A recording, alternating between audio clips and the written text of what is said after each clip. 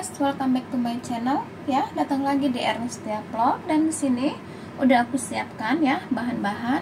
Ada terong ya. Uh, ada jahe satu ruas saya potong dadu-dadu dan bawang putih aku pakai 4 siu, aku potong dadu-dadu juga. Kemudian eh di sini juga ada 3 butir telur, ada 5 batang daun bawang, satu bungkus sambal ini ya. Kalau ada uh, kalian gunakan yang chili oil itu nggak apa-apa. Karena aku kehabisan chili oil aku ganti dengan sambal ini ya sambal sasetan. Dan di sini udah aku siapkan juga satu sendok makan gula pasir seperempat merica bubuk yang lada hitam itu ya. Ini setengah sendok kaldu bubuk. Aku pakai 8 biji cabai merah. Dan di sini udah aku siapkan juga saus tiram saus sambal dan kecap hitam ya dan kecap asin ya. Nah yuk. Nah, di sini udah aku siapkan air ya. Kemudian saya kasih garam ya satu sendok.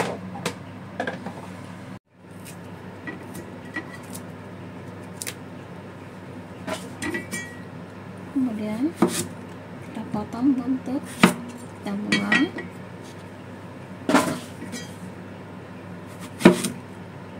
potong segini-segini ya. Jadi empat. Nah ini kita potong dadu ya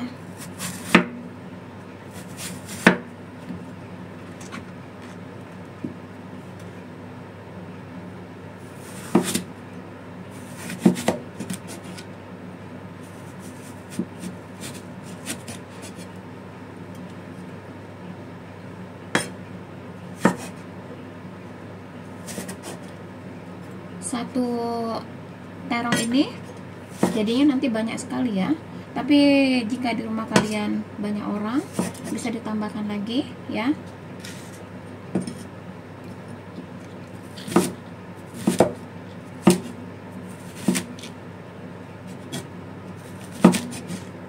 Ini mengingatkanku ya uh, kerja dengan nenek yang orang Shanghai itu ya.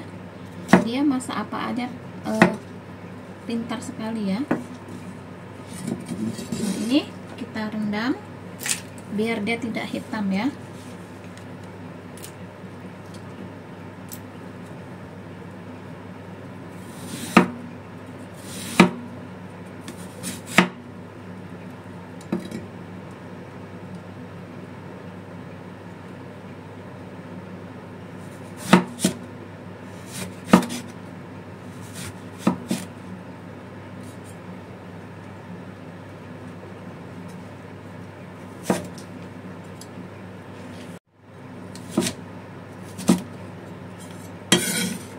kemudian kita rendam dulu ya biar nggak hitam. Nah ini kemudian kita potong ya. Potongnya sesuai selera kalian ya.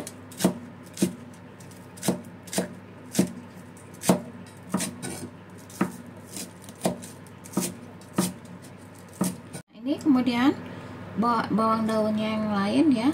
Aku tambahkan hanya untuk ini ya. Uh, nanti saat menumis ya. Kita iris nah di sini udah aku siapkan ya. Tiga butir telur. Kemudian saya nggak bisa memecahkan telur seperti orang-orang itu ya. Saya hanya mampu seperti ini memecahkan telurnya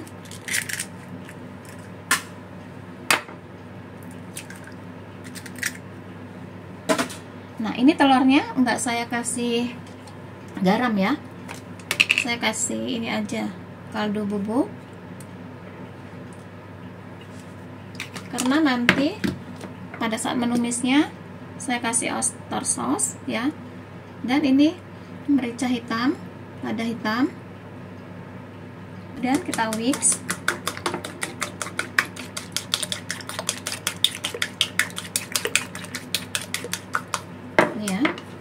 udah kemudian kita ini cabai merahnya kita iris ya. Mirisnya sesuaikan selera kalian.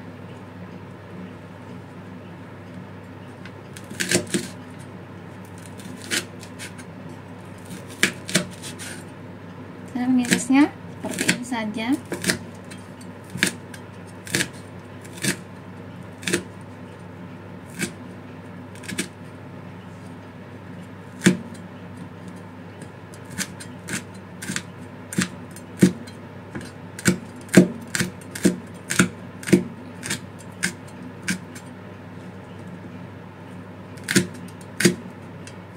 ini kemudian kita cuci ya.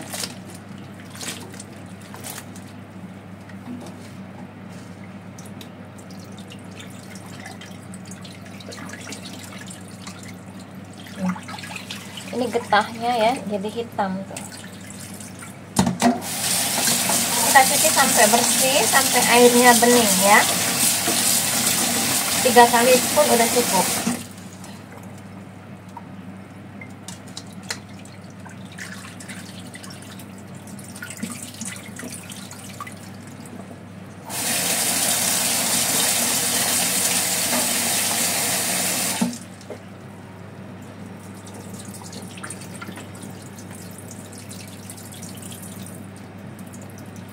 nah ini ya kemudian kita taruh di ini ya.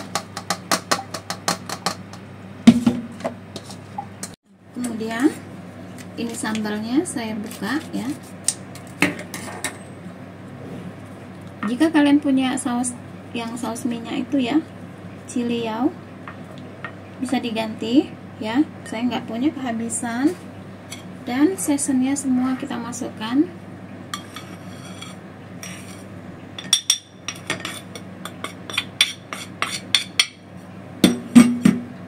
kemudian oyster sauce saya kasih satu sendok. Ini nanti nggak saya kasih garam lagi ya.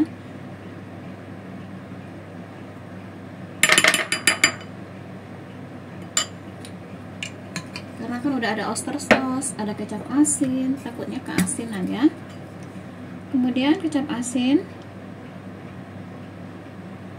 Saya kasih satu sendok kecap dark ya.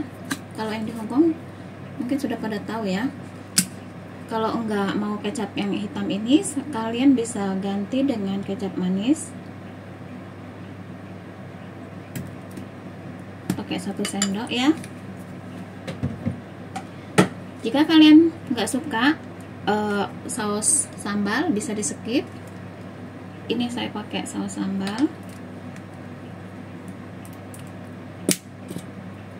ini saya pakai semuanya ya karena ini udah habis. Seadanya ya. Habis nih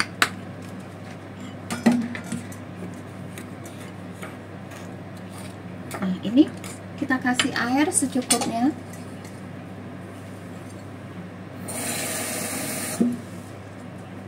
Kita kasih air 50 ml ya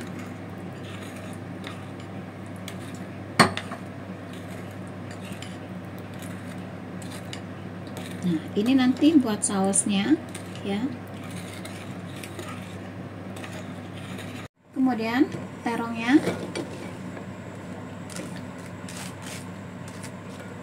terong dan telur kita gabungkan jadi satu ya.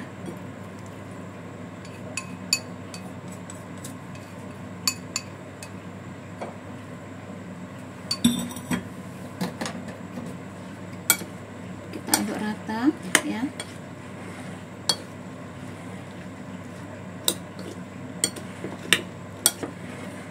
Nah, kemudian ini kita goreng.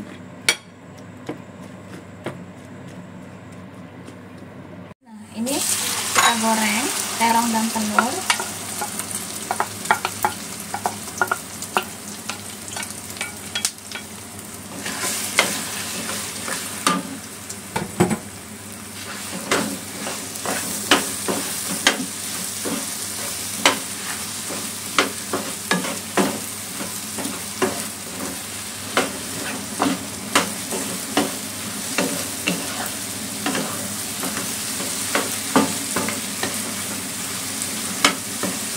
enak banget ini ya nantinya.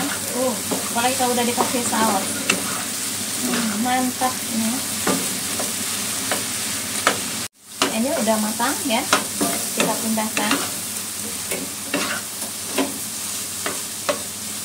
Kita pindahkan di tempat mangkuk yang tadi aja nggak apa-apa ya karena bekas telur. Kemudian cabai jahe bawang putih. Kita tumis ya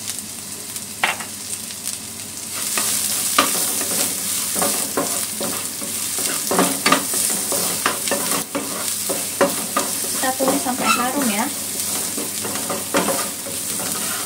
kemudian terong yang sudah kita goreng tadi kita masukkan. Kemudian ini kita masukkan sausnya. Uh harum banget ini telur yang tadi ya.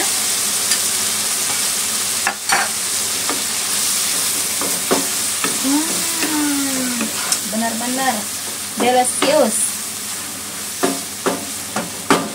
Daun bawang yang kita iris panjang tadi ya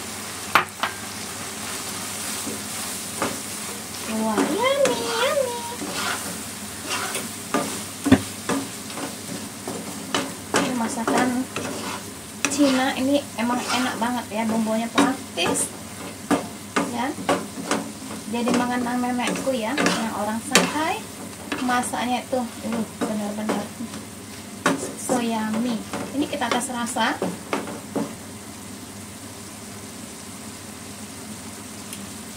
Pas mantap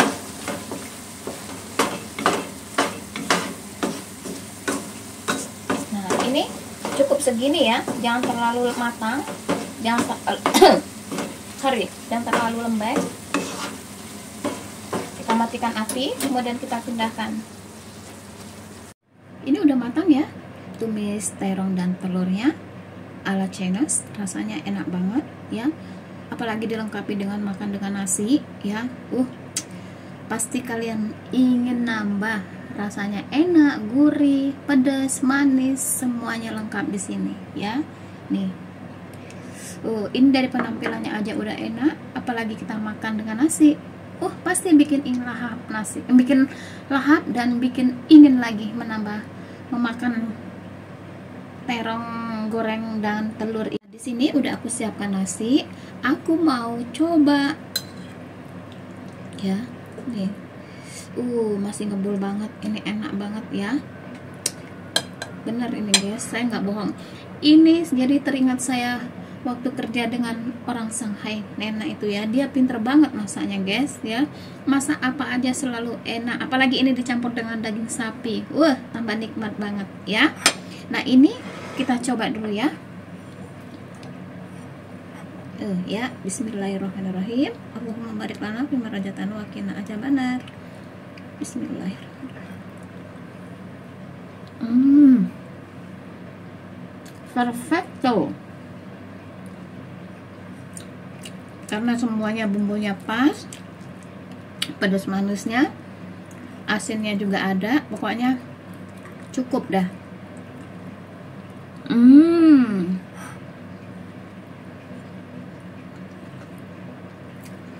saya nggak bohong ya. Ini benar-benar enak banget ya. Hmm. Kalau masuk jangan terlalu matang ya. Kalau terlalu lembek itu kurang enak bagi saya. Tuh masih nasinya panas. Ini yang masih panas eh. Hmm. Oke lah guys kalau begitu semoga bermanfaat resepku Jangan lupa di like, subscribe, and comment, and share. And thank you for watching. See you next time video. Love you all. Bye-bye.